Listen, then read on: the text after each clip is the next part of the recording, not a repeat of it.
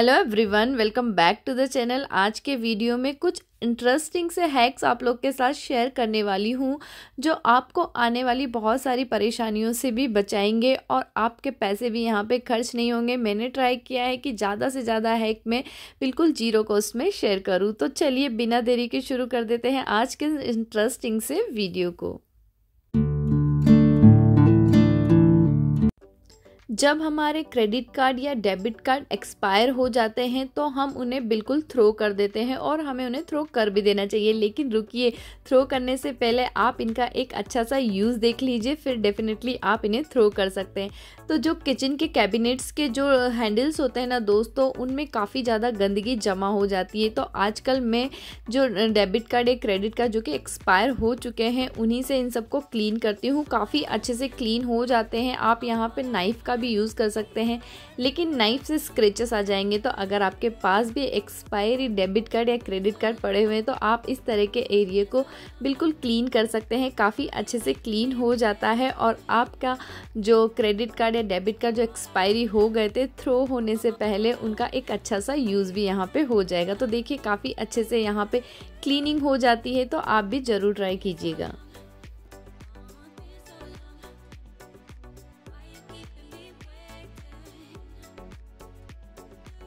कभी कभी टाइम की कमी की वजह से हम लॉन्ड्री नहीं लगा पाते हैं और कपड़े बहुत ज़्यादा इकट्ठे हो जाते हैं और इकट्ठे होने के बाद उनमें से एक गंदा सा स्मेल आने लगता है। तो आज एक ज़बरदस्त सा हैक शेयर करने वाली हूँ, जो सिलिका जेल के पाउचेस होते हैं ना, उनको अपने लॉन्ड्री बास्केट में रख दीजिए और उसके बाद आप लॉन्ड्री बास्केट में अपने गंदे कपड़ों को डालिए।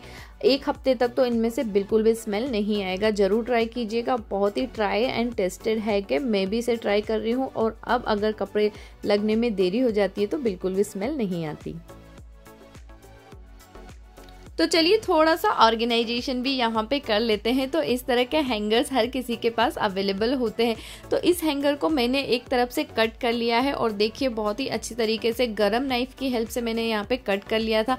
अब इसमें हम ऑर्गेनाइज कर देंगे। अपने जो टॉयलेट टिश्यू पेपर्स होते हैं ना, उनको आप इसमें अच्छे से ऑर्गेनाइज करके रख सकते हो। तो जो दो टॉयलेट टिश्यू पेपर थे, वो एज इट इज़ मैंने लगा दिए हैं और एक जो सेंटर वाला है, इसको हम यूज़ कर लेंगे।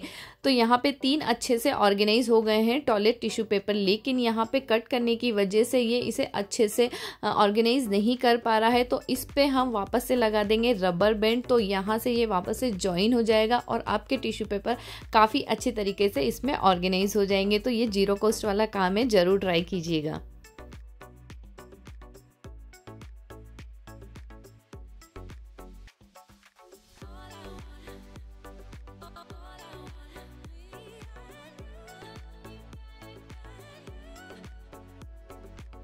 घर को खुशबूदार बनाने के लिए ही हम मार्केट से डिफरेंट डिफरेंट टाइप के एयर फ्रेशनर आते हैं, जो कि काफ़ी ज़्यादा एक्सपेंसिव होते हैं तो सम टाइम हम उन्हें यूज़ भी करते हैं। आज आप लोग के साथ ऐसा आइडिया शेयर करने वाली हूँ, जो पैसे तो आपके बचाएगा ही बचाएगा, लेकिन आपका घर भी उससे काफ़ी ज़्यादा महक जाएगा। तो सिलिका जेल के दो पाउचेस ले लिए थे, एक ग्लास ले लिया है छोटा वाला, जो कि मेरे पास ऐसे ही वेस्ट रखा हुआ था, उसमें सिलिका जेल के पाउचेस को मैंने डाल दिया है। देन उसके बाद हम इसमें ऐड कर देंगे कम्फर्टर जो कि हम कपड़े वॉश करने के लिए भी यूज़ करते हैं और इससे बहुत ही ज़्यादा अच्छी खुशबू आती है।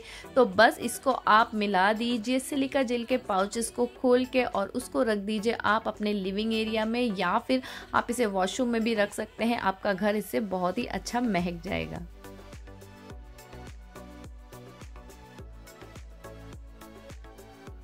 घर में कोई भी चेयर हो या डाइनिंग चेयर हो या नॉर्मल चेयर हो, जब हम उसे पुल या पुश करते हैं तो एक बहुत ही इरिटेटिंग सा साउंड आता है और इस साउंड को कम करने के लिए मार्केट में बहुत सारी चीज़ें अवेलेबल है। लेकिन हम यहाँ पे ज़ीरो कॉस्ट वाला काम कर रहे हैं तो मैंने ले लिया था यहाँ पे एल्यूमिनियम फॉइल और एल्यूमिनियम फॉइल की हेल्प से जो भी चेयर के लेग होते हैं, उनको हम कवर कर देंगे। अब से आपके चेयर को जब आप पुल या पुश करोगे तो बिल्कुल भी आपको एक इरीटेटिंग सा जो साउंड आता है, वो नहीं आएगा। ज़रूर ट्राई कीजिएगा। मिक्सर हुआ या फिर मिक्सर के जार हुए, हम उन्हें टाइम टू टाइम क्लीन करते रहते हैं, लेकिन इसके नीचे वाले हिस्से पे कभी भी हमारी नज़र नहीं जाती है और वो बहुत ज़्यादा गंदा हो जाता है। तो दोस्तों, इसको भी हमें टाइम टू टाइम बिल्कुल क्लीन कर लेना चाहिए। बहुत ही अच्छा सा है जो आप लोग के साथ शेयर कर रही हूँ। आप यहाँ पर ले लीजिए नॉर्मल सोडा जो कि हम खाने में यूज़ करते हैं, उसको आप इसमें अच्छे से स्प्रेड कर दीजिए। देन उसके बाद आप इसमें ऐड कर दीजिए विनेगर या फिर लेमन तो दोनों जब रिएक्ट करते हैं तो जो जो भी गंदगी है, वो अपने आप यहाँ से क्लीन होने लगती है। बहुत ही कम एफर्ट्स में आप इतनी सारी गंदगी को बिल्कुल क्लीन कर पाएँगे। तो जैसे ही मैंने इसमें विनेगर डाला तो देखिए विनेगर और सोडा कितने अच्छे से रिएक्ट करता है और आप इसमें कुछ ब्रश भी यूज़ नहीं करेंगे, तब भी बहुत सारी गंदगी ये अपने आप ही क्लीन कर देता है। तो देखिए मैंने अभी यहाँ पे कोई भी ब्रश यूज़ नहीं किया है, पर इस, ये लिक्विड का कलर बिल्कुल यहाँ पे चेंज हो गया है।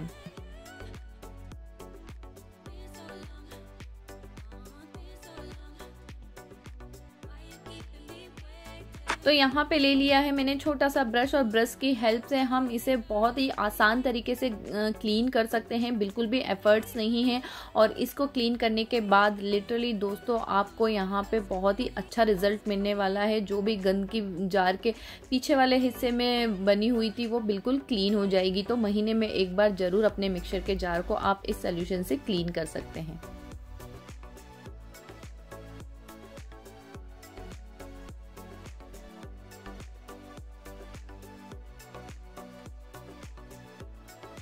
बरसात का सीज़न हो दोस्तों, या फिर ठंड का सीज़न हो, घर में मक्खियाँ, मच्छर बहुत ज़्यादा आ जाते हैं तो इसके लिए भी एक परमानेंट सोल्यूशन आप लोगों के साथ शेयर कर रही हूँ। कॉफ़ी जो कि हर किसी के पास होती है तो कॉफ़ी को थोड़ा सा यहाँ पे गर्म कर लिया है। किसी भी बर्तन में आप उसे अच्छे से गर्म कर लीजिए, उसे तब तक गर्म कीजिए जब तक कि उसमें से थोड़ा सा धुआँ ना निकलने लगे। तो देखिए, यहाँ पे कॉफ़ी काफ़ी अच्छे से गर्म हो गई है। अब आप इसे अपने सारे घर में घुमा दीजिए। इवनिंग के टाइम आप ये एवरी करेंगे तो कभी भी आपके घर में मक्खी मक्खियाँ मच्छर कुछ भी नहीं आएँगे और बहुत अच्छी खुशबू भी आपके घर में आने लगेगी।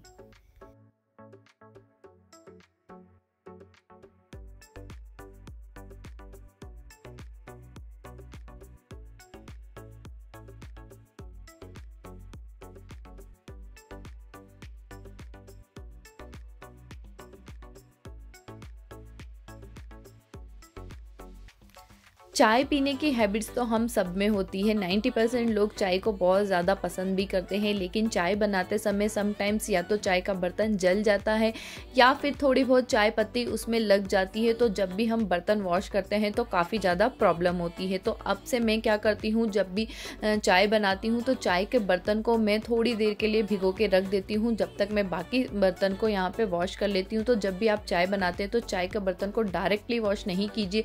उसमें आपको काफ़ी ज़्यादा टाइम लग जाएगा और एफर्ट्स भी काफ़ी लगेंगे तो हमेशा चाय बनाने के बाद बर्तन को 15 से 20 मिनट के लिए आप भिगो के रख दीजिए, उसके बाद आप उसे वॉश करेंगे तो बस चुटकियों में वॉश हो जाएगा। कुछ कुछ सब्ज़ियाँ ऐसी होती है कि उनमें बिल्कुल हमें टिप्स एंड ट्रिक्स को फॉलो करना चाहिए, तभी वो सब्ज़ियाँ अच्छी बनती है। उनमें से एक सब्ज़ी है भिंडी। अगर हम भिंडी को ध्यान से नहीं बनाएँगे तो वो बहुत ही स्टिकी स्टिकी बनती है और खाने में बिल्कुल भी मज़ेदार नहीं होती। तो दोस्तों, जैसे कि हम सब लोग जानते हैं, जब भी हम भिंडी को बनाते हैं तो पहले हम उसे वॉश कर लेते हैं और वॉश करने के बाद हम उसे अच्छे से ड्राई कपड़े से साफ़ भी कर लेते हैं मतलब अच्छी तरीके से ड्राई भी कर लेते हैं। लेकिन फिर भी समटाइम्स वो बहुत ही स्टिकी स्टिकी बनती है। तो इसके लिए आपको क्या करना है? जब भी आप भिंडी को वॉश कर रहे हैं वॉश करने के बाद जब उसे ड्राई कर रहे हैं, भिंडी को ड्राई करने के लिए आप यहाँ पे माइक्रोफाइबर का क्लोथ यूज़ कीजिए, क्योंकि अगर हम कॉटन का क्लोथ यूज़ करेंगे तो बहुत जल्दी गीला हो जाता है। तो जब भी आप भिंडी बना रहे हो तो जब उसे ड्राई कर रहे हो तो माइक्रोफाइबर का ही क्लोथ यहाँ पे यूज़ कीजिए। उससे काफ़ी अच्छे से भिंडी ड्राई हो जाती है। दोस्तों, आज के वीडियो में जितने भी हैक एंड आइडियाज़ आप लोग के साथ शेयर किए हैं, उनमें से कौन सा आइडिया आपको अच्छा लगा, ज़रूर मेरे साथ कमेंट सेक्शन में शेयर कीजिएगा। और इस तरह के वीडियोस अगर आप देखना पसंद करते हैं तो चैनल को ज़रूर से सब्सक्राइब कर लीजिएगा। इस तरह के वीडियोज़ मैं इस चैनल पर बनाती रहती हूँ और अपने फ्रेंड्स एंड फैमिली के साथ ज़रूर इस वीडियो को शेयर कीजिएगा। तो भिंडी हमारी यहाँ पर अच्छे से वॉश हो चुकी है और कट भी चुकी है। इसके बाद आप इसे फ़ैन में रख दीजिए और फ़ैन में रखने के बाद ही आप इसे बनाइए। आपकी भिंडी कभी भी स्टिकी नहीं बनेगी, ज़रूर ट्राई कीजिएगा, बहुत ही अच्छा है कि आपकी भिंडी बहुत ही ज़्यादा लाजवाब और टेस्टी बनेगी।